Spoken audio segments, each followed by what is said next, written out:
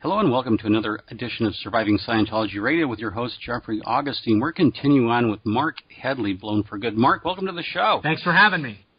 Hey, today's a special show. We're going to talk about all things Tom Cruise. Oh, goody. Where do you want to start? Uh, well, I guess probably just from the beginning, as as long as uh, what I know, which was uh, start, starts back in 1990 and Tom Cruise was getting more and more into Scientology. Um, his wife at the time, Mimi Rogers, had sort of introduced him uh, to Scientology, and he got, I think he actually got some auditing from her dad, if I remember correctly. Um, and he sort of, as soon as it was kind of known that he was in and he was interested, then it was sort of like showtime. This guy can't be going to some mission in Riverside or Celebrity Center. He needed to be at the base and he needed to be coddled and and sort of uh, uh, you know handled uh, so that everything went perfectly. And in RTC, there's a gentleman by the name of Greg Wilhere. And Greg Wilhere was, I think at the time, his post was corporate liaison in charge in RTC. And it was sort of like a post that was set up so that somebody in RTC could deal with the other corporations in Scientology. So legally, no one from RTC was, you know, managing any of these other groups. It was sort of just on paper a legal thing they needed. Sure. But um, and I think before Greg Wilhere, I think Mark Fisher was uh, CLIC, if I'm uh, if I'm not mistaken. Anyway, um, Greg Wilhere was the guy that was assigned to be Tom Cruise's handler. Now, Marc, that's an interesting point. Just for a moment, can you explain what a handler is and does in the Church of Scientology? Basically, if Tom Cruise is this big movie star and he's going to get into Scientology, it, uh, we need to we need to manage this thing so that nothing goes wrong, and if something does go wrong, it can be handled uh, instantly so that Tom Cruise's Scientology experience is the most perfect thing that could possibly happen. So, so basically, um, this person is directed on exactly what to do with Tom, and then they report up. They send a daily report that goes to David Miscavige, and then David Miscavige can then judge based on that day. Okay, good. This is what you need to do tomorrow or all next week, and and sort of uh, caress and coddle Tom so that every little thing is the next thing he should do, so that every experience that he has is a positive one, so that he does, now, so he doesn't leave Scientology. Could you call this love bombing? Would that be fair? Well, I mean that's pro- that's that's part of it. I mean they're they're trying to overwhelm him with how awesome everything is and how awesome he is and how awesome he's going to be in Scientology and how much is this is going to help him and whatever he needs, we're here for you. And I mean, even on Days of Thunder, so Greg Wilhere is was hanging out with him on the set of Days of Thunder. So it's not like uh, Greg Wilhere goes and sees him for five minutes and says, "How's it going?" No, no, Greg Wilhere is like with him while he's shooting. Wow. And then and then they t- they they tell him about this clear sound technology, which is this revolutionary audio uh, uh, audio recording technology that L. Ron Hubbard invented. And so they built a special recording rig. It's actually called the Clear Sound Rig. And this recording rig had all of the latest and greatest digital and analog equipment for capturing on-set sound for a movie and they sent this rig to the set of Days of Thunder so that all of Tom Cruise's dialogue would be recorded on this particular rig. And I mean that's and this this is a hundred thousand dollar recording rig. It's not just like a, a few things thrown together. I mean, this thing was custom made specifically for Tom Cruise. It actually had it was these roadshow cases with all this rack-mounted audio gear and uh, uh, what's called a Nagra D, which is like a Nagra uh, digital recorder, and a, uh, these super duper analog na- uh, Nagras and and it actually had nameplates on it that said Tom Cruise. It was Tom Cruise's personal recording rig. Amazing. Did it work? Did Clear Sound work? Well, they they got booted the the hell off the set. The the union sound guys were having none of it. They were like, "No, no, you can take this thing and shove it. We're going to record the way we've always recorded." So it was a very short-lived idea that uh, Tom Cruise was going to revolutionize the uh, the sound the on-set sound recording with his L. Ron Hubbard Clear Sound rig. Marc, Marc, just to digress, do you know that David Miscavige has a vanity patent on a microphone? yeah, on the the lapel mic. Yeah, I know about that. Yeah, and then uh, the other funny thing is Tom did an interview in the early '90s, if I recall, where he called the Hollywood sound people like an he called them an old bunch of guys who don't know what they're doing, and he just Tom said, "I just want clarity on the voice." Yeah. Is that asking too much? Yeah, that that And, was in uh, that was all in relation to this Clear Sound rig fiasco. Okay. So Anyway, so, So this that- is all yeah. happening in 1990, and I mean, Greg was on the set so much on that movie that one of the doctors, one of the characters, uh, one of the doctors who is examining uh, the race car drivers. If you if you look in IMDb or if you watch the movie, they actually changed his name to Doctor Wilhere in the movie. I mean, okay, that's how much Greg was there. They changed one of the character names to Wilhere as a joke, you know, and sort of a high five to Greg. But at this point, Dave Miscavige and Tom Cruise had not yet become best buds. It was sort of like Tom's in Scientology. We're going to send this this guy from RTC, Greg Wilhere, who's a he's a he's a personable guy, um, and he's like a PR-y type of guy. You know, he's he's Yeah. the, the he's the guy you send in to kind of smooth things over. So, um, so Greg is sort of the dude hanging out with Tom, and during the shooting of that movie, it became very apparent that Tom and Nicole were a thing. So it was very important to get Mimi out of the picture because Tom likes Nicole. Nicole's like another, you know, 10, 11 young years younger than Mimi. So, and Nicole's like, you know, she's just a young hot hot something. She's just like, you know, we can get her to do whatever we want to do. Now, Marc, is this this whole thing so our listeners know? Knowledge reports would be written by Greg Wilhere and others to David Miscavige. Knowledge reports on all this? No, no, not knowledge reports. No. Daily No. daily reports. Ooh, even more. So, So- highly. So basically, Dave Miscavige has he micromanages every single aspect of Scientology. So any activity or project or sector of Scientology has whoever's in charge of it, whoever's the you know boots on the ground guy who's running that thing, writes a daily report and forwards it up to their higher up, and then that higher up compiles all their areas, and all of these reports end up with David Miscavige. And in, Okay, in cases like this, it just goes direct to David Miscavige. There's no there's no in between. There's no go between between Greg Wilhere and David Miscavige. It's going straight to Dave. Okay, so Mimi's out and Nicole's in. They got to make that happen. How do they do it? Well, that's when, at this point, we had been at the base. We had been renovating and making the property just this, just basically a luxury oasis. And there, there were all these bungalows that were being renovated so that Tom could come and stay in there and just be a luxurious getaway for him that no one could get into. It's basically it's like a private resort, but he would be the only person there, you know, living it up. There's nobody Amazing. everybody else is there just to service him. So he'd have his own chefs, he'd have his own motorcycle to drive around the property, he'd have his own bungalow. We had tennis courts, basketball fields, uh, basketball courts, uh, soccer fields, an exercise gym, um, this field where they could, uh, him and Nicole could run through the field. Um, there was a rose garden, uh, like a little walking garden built right next to the bungalows. Um, you name it, anything and everything so that him and Nicole, because it's basically, now it's not just Tom who's coming, Nicole's coming with him.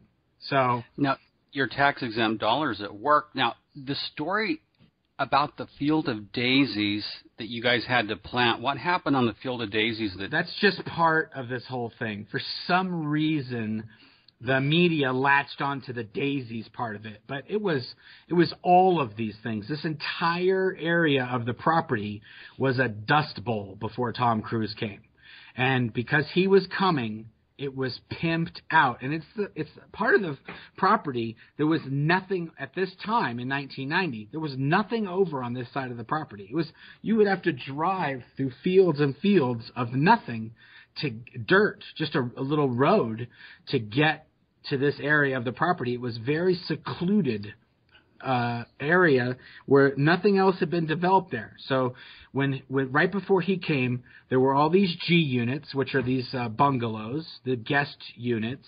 Then you had the tennis courts, which are right there, the rose garden, the fields, the uh, soccer fields, the exercise gym, the basketball courts, the par course, which was this like an exercise course that had all these stations where you could stop and you know balance, run on a balance beam, do some chin ups, do some pull ups, Yeah. rings, all this stuff. This was all installed during this time. And up until this point, there was nothing like that for the crew. None of this stuff was there. It was the only thing they had at the base up until that point was the the running track where you you know you run around the palm tree, and then the the clipper ship which had a pool in the middle of it. So that was the only sort of like you know recreational type uh, parts of the property that were there. So you guys build all these amenities largely for Tom and Nicole's upcoming visit. Yeah, there were. I mean, the amount of time I was there for 15 years, and I would say, gosh, I, I think I played maybe two games of soccer on that soccer field, and those were uh, like one day of the year, and then like a few years later. We played a, a soccer game there. We didn't play. What it was these soccer fields? There were probably years where not a single soccer game w- were played on those fields by the, Well, you by had the a lot of- base crew. Sure, you had a lot of work to do. You had no time to play soccer and the deadly serious activity of Scientology. But g- going back and just, just you have to indulge me and our listeners here. Tom Cruise wanted a field of daisies to run through with Nicole, and you got to tell the story, Marc. Come on, the field of daisies. Well, I mean that's what I'm saying. It was just lumped in with all this other stuff. So it wasn't But- it wasn't like for us it was a package. It wasn't like we're gonna Oh, I don't know. You know, it was like, like even when I heard about it after I left, I was like, well, yeah, we built. Yeah, there was a field and there was sports fields, and that's why I think it just kind of got latched onto as sort of this. You know this thing like oh him and Nicole are gonna. He said he wanted to run through a field of daisies. It might have even been a joke, and so so what do we need to do? We need to plan a field of daisies.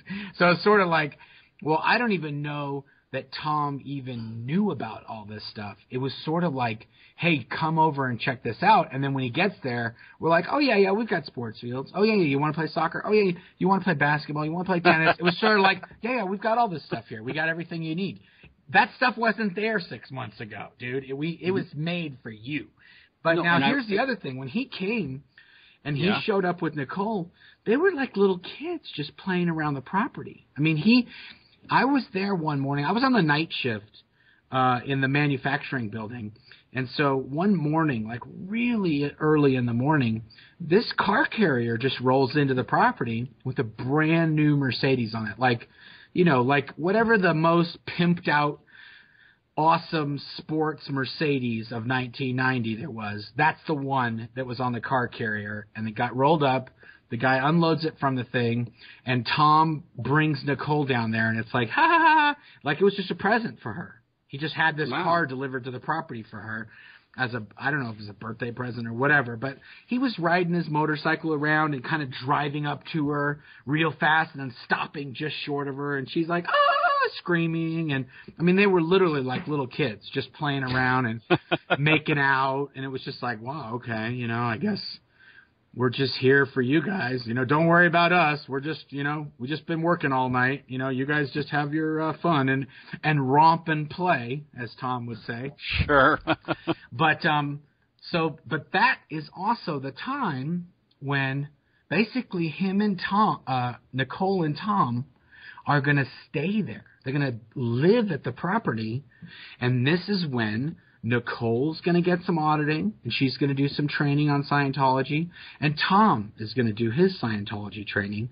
And that's kind of how I got to know Tom more than I would have just from, you know, a, just happening to see him here or there is because he needed somebody who hadn't had that much Scientology training or auditing, and that was that when you're when you're first in Scientology doing your training, you basically need a guinea pig that you can practice your auditing on. You can practice the Scientology counseling techniques on, and so I was actually chosen to be that guinea pig for him, and so we did all this, you know, introductory auditing. Um, and the funny thing was is that I had actually already had all of the auditing that Tom Cruise gave me. I got it when I was like 13 or 14 uh, when I was actually in Clearwater with my friend. We kind of gone there on a semi vacation, and his dad was like, "Well, you guys got to go on course a little bit here and there." And there was some auditor lady there at, in Florida that needed a guinea pig, and she sort of did, and she did all the same auditing. Uh, you know, this is probably I don't know six, seven years prior to this, prior to me joining the Sea organization and being at the international headquarters. But um, so it was, it was like it was sort of like a little bit of a cheat that he could do it with me because I'd already had it, but I hadn't really done any any other auditing since then. So it's sort of like okay, we'll just get a little refresher, and Tom will do it, and then that way it'll give him a little bit of an edge, so he doesn't have to deal with somebody who's just total, you know, what they call raw meat. He has somebody Sure. who's kind of indoctrinated, but hasn't really done anything else. So we were doing this, you know, every every day. I'd go over and get some auditing, and it wasn't really that memorable. I think the most memorable thing that happened for me, at least, was that in one of the sessions, I actually fell asleep. Like it was so, I was so bored out of my mind. They call it. uh L. Ron Hubbard calls it. uh What Anaten? Anaten, yeah, I would, I went, I went Anaten from from just the repetitive nature of the the Scientology auditing, and I literally just like while Tom Cruise was asking me questions, I just literally went to sleep. You have a big have, have a big movie star yeah, auditing you at the Scientology International Base, and you fall asleep. Did you get in trouble, or I got in so much trouble. And it's like might as well just slap David Miscavige in the face, slap Tom in the face. Well, I was on the night shift, so Oh, when you're yeah. on the night shift, your body sort of you're working all night long, but your body really wants to sleep. But then during the day, you're supposed to be sleeping, but your body wants to be awake. So No, wait a minute. Wait, stop. So you're working all night, and then you have to be all day with Tom Cruise. no, no. So what would happen No. is, Yeah. I would work all night, and then I would go to sleep when most people would be having breakfast. I'd go home and I'd go to sleep, and then I would get up like right before dinner time, and then I would come into the property, and then I would eat dinner, and then I would go do auditing with Tom. Okay, and so, so, I mean, would audit from right after dinner until you know late a little bit late at night. And then when i was done with him i would just go over and work until breakfast. And that was my sort of daily routine. Well after this happened it was like no no no no more my boss who was the day shift person that did my job well she was assigned to the night shift and i was assigned to the day shift so now I would be able to go in session with Tom during the day and they fed me. I got the I got all my meals were special. So everybody else is eating their slop or whatever, but my meal was a special meal. Yeah, and let me just say to, to people who don't know Scientology, Tom Cruise has you on an e meter auditing you. You're holding the cans in your hand. One thing in the Church of Scientology, you have to be sessionable. That's which right. You have to, you have to have had enough sleep and eat, and they do what's called a metabolism test before the, they, they start session. Yeah. So Tom did all that. He did the metab on you, Yeah, well, and the the the, he was- the me falling asleep thing was really just like, well, I did meta I did he he would do the metabolism test before each session, but I was passing that, so it was sort of like, well, it just might probably just because he's on the night shift. So let's That just sense, let's just so- switch him over to day shift. But the first time I went to session, I didn't pass that metabolism test. And that's when Tom is like, okay, let's get you some. Have you ever? Do you take vitamins? I'm like, uh, no, dude. Like, I don't take vitamins. And he's like, oh my god, I can't believe you don't take vitamins. And I was just like, wow, this guy is like, he's really into the vitamins, huh? And then he's like, well, what about bee pollen? Did you take any bee pollen today? And I'm literally like, bee pollen? Is this guy freaking nuts? Like, there's such a thing? You eat bee pollen? Like, not just, not honey, but bee pollen. Yeah, yeah, bee pollen. And I'm just like, no. And he's like, oh my gosh, you've got to eat bee pollen. That is the best way to be sessionable. And it may, like, this guy knows tricks on how to pass the metabolism test. I was sort of like, this is, like, I've been in Scientology my whole life. I've never even heard of half this shit that he's talking about. Well, if Tom Cruise wants bee pollen, I'm making a note right here, bee pollen. Uh, so then, so did you finish auditing with Tom? Yeah. Cruise? So so after a few weeks, you know, it was like, okay, good, we're all done, and then that's it. I never saw the guy again until I think it was like 2004. So he just disappeared, and and and also during that time, he wasn't in Scientology. Like no, no, no, he had nothing to do with Scientology. Like when he got to, I think it was when he got to OT3, and you know Marty Rathbun or one of these cats who knows all his intricate auditing and life details would know like when exactly it was. But I think it was pretty much right right after he did OT3 and he found out about you know the space aliens and body thetans. I think that's when he was like, oh boy, and and he's still with Nicole. So this he he was gone. He was he was never at the property. Like, and if he came there, we didn't know about it. So when he ditches Nicole, and now he's with I think it was when he was with Penelope. That's when he sort of starts to get back in again. Right after the during... Nicole breakup, that's like that at that all that time was when he gets back in, and that's in I don't know. It's I think it's early 2000s. I want to say or late 90s so the, or whatever. So Scientology is able to recover him somehow. Yeah. Is this is this what's uh, uh, the so-called wife auditioning phase? No, no, that happened. No. That happened. In, That's later. Yeah, that happened in 2004, which okay. which coincidentally was the next time that I had uh, I ended up seeing him.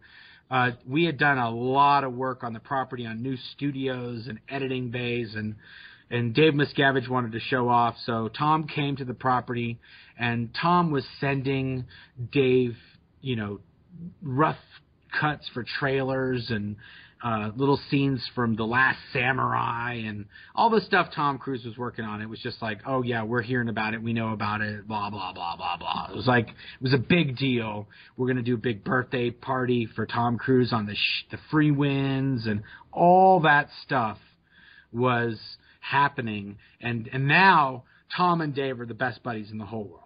Like, be, after Marty sort of recovered Tom Cruise and got him back into the fold, Marty yeah. was the new handler. Okay, and okay. then Marty sort of once Marty's work was done, then it was sort of handed off to Tommy Davis, and then Tommy Davis was really just like Tom Cruise's you know, Scientology assistant. He was just with Tom all the time, everywhere, helping Tom with this, helping Tom with that. That's when we're making luxury SUVs and, uh, you know, redoing his hangars and all this stuff is happening in the mid 2000s. And, um, and that's, uh, 2000, late 2004, going into 2005 was the whole wife auditioning thing and all that stuff. Anyway, so earlier in 2004, Dave is trying to show off all this new stuff to Tom. Tom's walking through one of the auditing video editing bays, and that's when I saw him, and he's he's like, "Oh hey," you know, he re- it was like, "Oh yeah, we remember in the sessions," and "Oh yeah, cool, cool, cool, cool." I mean, it's been 14 years. He sure. he spots me in a second. He knows exactly who I am. And then the funny thing is, is you fast forward a few years later, and now I've already I've left Scientology and I've got a lawsuit and my book is out and there's all these stories about the Tom Cruise wife auditions and all this stuff. And I think it one of Tom's spokesholes, I think it was Bert Fields or somebody that said Tom Cruise doesn't remember this Marc Headley guy. And I got a real big I got a real big chuckle out of that because you know Scientology and Hubbard they often try to sell this idea that Scientologists have perfect recall and can remember not only this current life but past lives and millions and trillions of years ago. And here's this OT7 operating thetan level 7 super being that's you know dedic- the most dedicated Cylon that Dave Miscavige has known, and blah blah. And he can't even remember 15, when, 15 20 years back when he spent weeks, day after day with me. So I'm like, wow, dude, I remember, and I, I haven't even read Dianetics. Okay. Sounds like amnesia on the whole track. Yeah. And then there's also there's also that video where Tom Cruise says, "Yeah," and then they ask me, "Have you ever met an SP?" And then he goes into that you know crazy cackle laugh. And I'm like, met one. He freaking audited one for weeks on end. He knows oh, SPs. God, that is that is He's so surrounded funny. by them. Swimming in an ocean of SPs. Well, yeah. The other thing is, and this is a big deal. Anyone who's on staff, who's been on staff or has been in the Sea Org, knows this like absolutely. Whenever anyone blows Scientology, whether it's a staff member or a Sea Org member or a public, whatever auditor that was auditing that person, the person who blew, whatever the whoever that person's auditor was, is frickin' toast. You know that it's basically oh yeah the auditor is the one who messed that person up. They or they missed a withhold, or they missed an overt, or they they did Scientology wrong, or you know it's always the auditor is the one who gets the blame. And so I'm like, really, like if you asked anyone at the base, like, okay, who was that dude's auditor? Who gave that person you know, the person who gave me the most auditing in Scientology, there's only one person who meets that criteria. That's Tom Cruise. So it's like, good going, Tom. You not only have met a major SP, but you were the one who audited that SP. and Marc, this raises such a great point. It, and I was talking to my wife Karen, and you know, I asked Chris Shelton the other day, doesn't everyone in the Church of Scientology want to be an auditor? He said no. And then Karen added in, no, of course not. Who wants to be an auditor? Because if anyone blows, the auditor gets, you know, his or her head on a pike. Why would you want to be an auditor?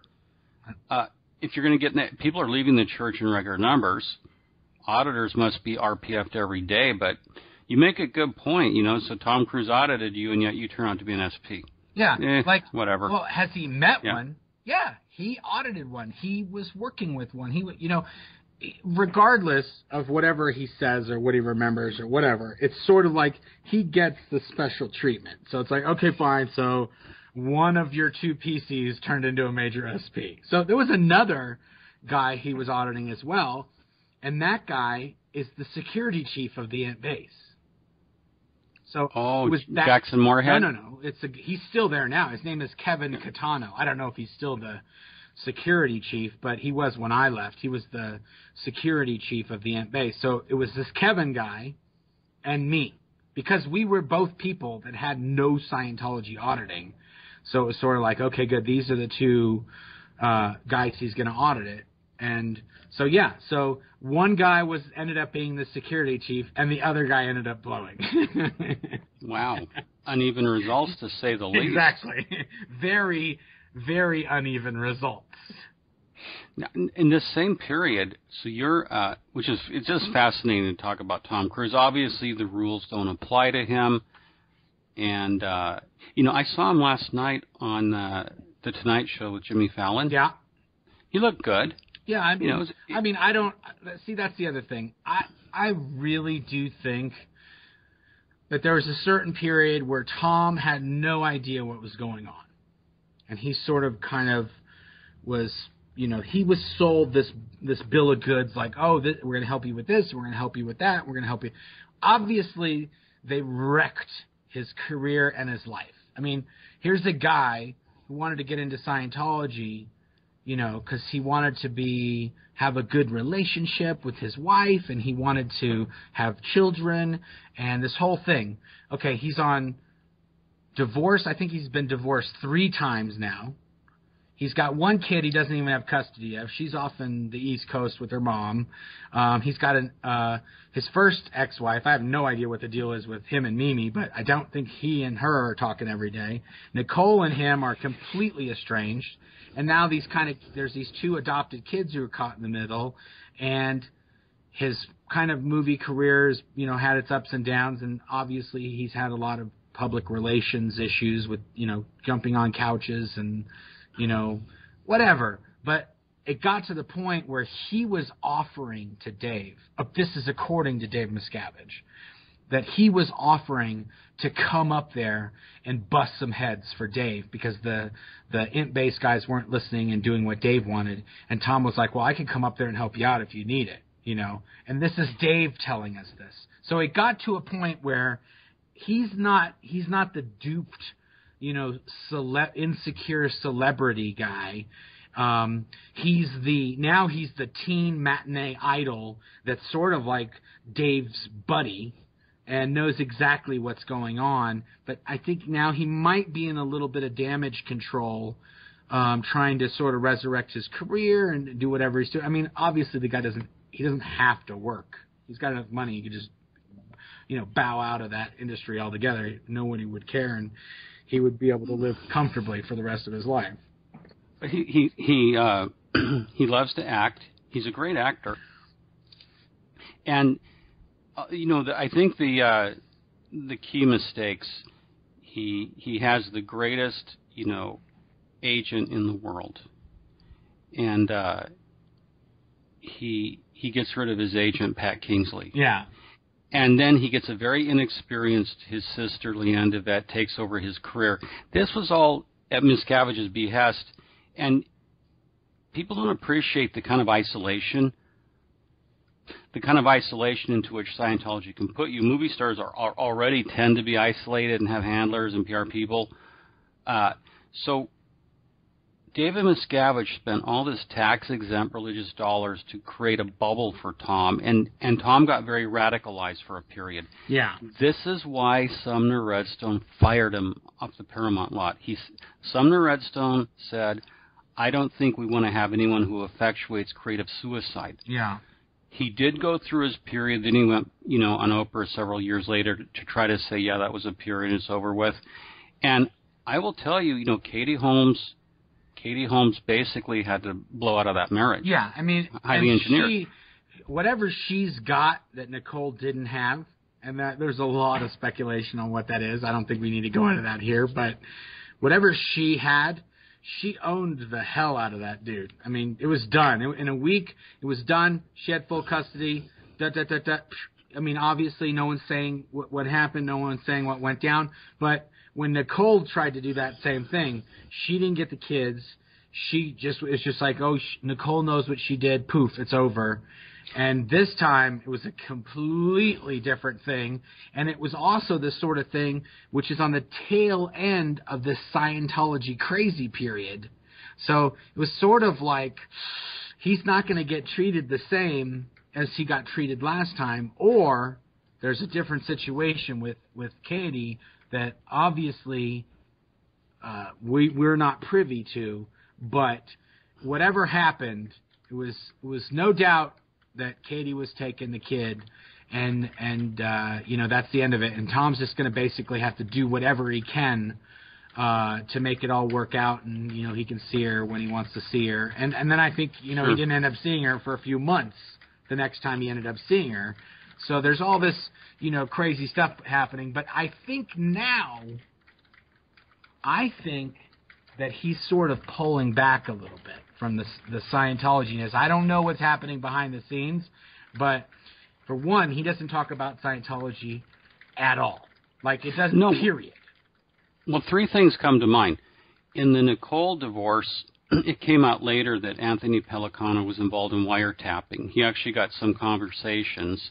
Now, now Bert Fields, you know, was really straight up with the FBI. He was exonerated, and and then they had a with Katie Holmes. There was a prenup, and her father's a divorce lawyer. Yeah. So they just exercised those provisions on what was looked like a surgical strike. Marc, I think Tom Cruise has paid for his sins. He really has. He's made some mistakes and he paid hell for them. I'm glad to see him back working. I hope he's backed off of you know that fanatical thing that it, and he like I said he looked great last night. Uh, wish him all the best, but it does show you life at the top of Scientology is not what it's cracked up to be. It can be extremely difficult to be in the clutches of the Church of Scientology, and, and that should serve as a warning to people who think they have anything to offer because they don't. What they will offer you is control. Absolutely. And a high level of control you don't want. And I, my opinion was always just my opinion that Katie Holmes was really overwhelmed by the amount of control. Yeah. Hold on. That we. I have a uh, a hailstorm that's. Uh, oh, that's what we're hearing in back a hailstorm. Sorry, yeah. I was like, at, at, first I was like, I wonder if they can hear it, but then I'm like, I can definitely tell you they can hear this because it's. Well, it appears that the very large, sudden, and unexpected, very dramatic hailstorm at the Headleys' home has wiped out our internet connection. And as this is internet radio, we are through for today's show. Uh, we thank you for listening, and we want to thank our guest, Marc Headley, author of Blown for Good Behind the Iron Curtain of Scientology. It's available on Amazon, it's available on Kindle. Recommend you read it if you haven't, or give it as a gift to a friend who needs to read it. For Surviving Scientology Radio, this is Jeffrey Augustine, and as always, we'll be in very good touch.